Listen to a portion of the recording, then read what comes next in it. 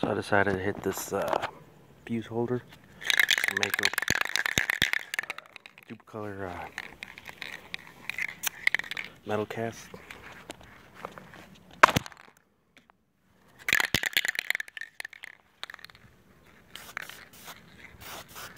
Last of the can. I figured I'd make one last swing badass.